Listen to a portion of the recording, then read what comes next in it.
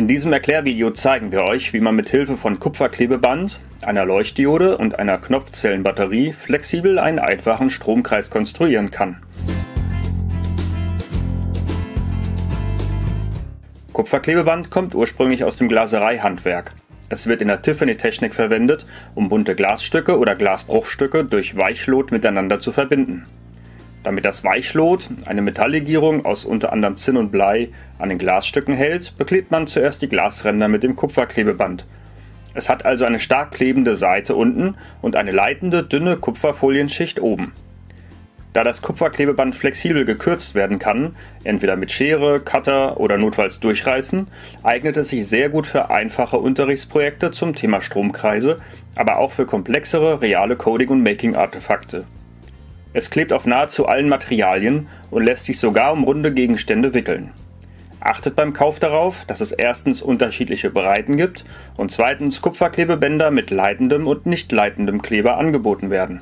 In diesem Video verwenden wir welches mit nicht leitender Klebeseite und zeigen euch einen Maker-Hack, um dennoch eine leitende Verbindung damit herstellen zu können. Wir kürzen das Kupferklebeband und kleben es nun so auf Pappe, dass noch Platz für eine Batterie und eine Leuchtdiode bleibt.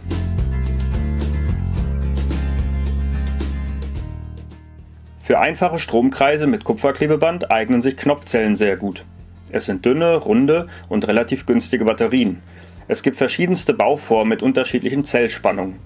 Den Namen Knopfzellen haben die Batterien deshalb erhalten, weil ihre Form an einen Knopf erinnert. Wir empfehlen für Coding- und Making-Projekte Knopfzellen vom Typ CR2025 oder CR2032 zu benutzen. Man findet sie oft in Fernbedienungen, sie haben eine Höhe von 2,5 bzw. 3,2 mm und eine Spannung von 3 Volt. Der Pluspol der Knopfzelle ist der äußere Mantel aus Edelstahl, auf dem auch die Typenbezeichnung und ein Plus eingeprägt sind. Wenn man möchte, kann man die Knopfzelle mit einem Knopfzellenhalter in den Stromkreis einbauen. Der Vorteil ist, dass beide Pole der Batterie auf einer Seite, nämlich unten, hinausgeführt sind und sich so das Kupferklebeband leichter befestigen lässt. Der Nachteil ist definitiv der Preis für den Halter. Dieser liegt je nach Quelle bis zu 2 Euro das Stück.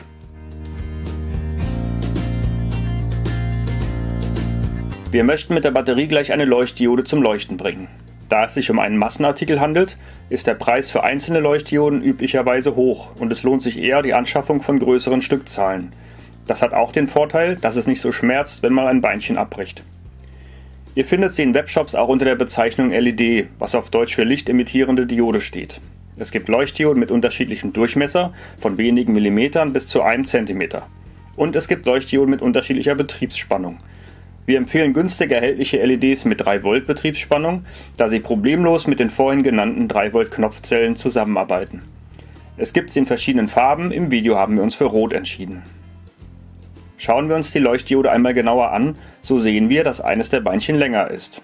Dieser Pluspol wird später mit dem Pluspol der Batterie verbunden. Durch Dioden kann Strom übrigens nur in eine Richtung fließen. Das bedeutet, wenn wir die Anschlüsse vertauschen, dass die Leuchtdiode nicht leuchtet. Man kann die Beinchen flexibel verbiegen, jedoch sollte man nicht zu nahe am Gehäuse biegen, da sonst die Beinchen leicht abbrechen können. Da das von uns verwendete Kupferklebeband nur auf der Oberseite Strom leitet, wickeln wir im Video die Beinchen der Leuchtdiode an den Enden des Klebebands etwas ein und drücken alles zum Beispiel mit dem Fingernagel fest.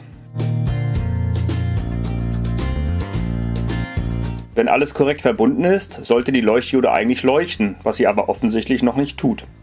Grund hierfür ist, dass die nicht leitende Klebeschicht des oberen Kupferklebebandes beide Kupferfolien voneinander isoliert. Wir nehmen deshalb einen Zahnstocher oder Schaschlikspieß und rubbeln die obere Kupferfolienschicht mit Druck durch die Klebeschicht hindurch, bis sie auf die untere Kupferfolienschicht trifft und leitend mit dieser verbunden ist. Wenn alle überlappenden Kupferklebebänder leitend miteinander verbunden sind, leuchtet schließlich auch die Leuchtdiode. Im Video haben wir die Knopfzelle mit Halter nun in den Stromkreis eingebaut.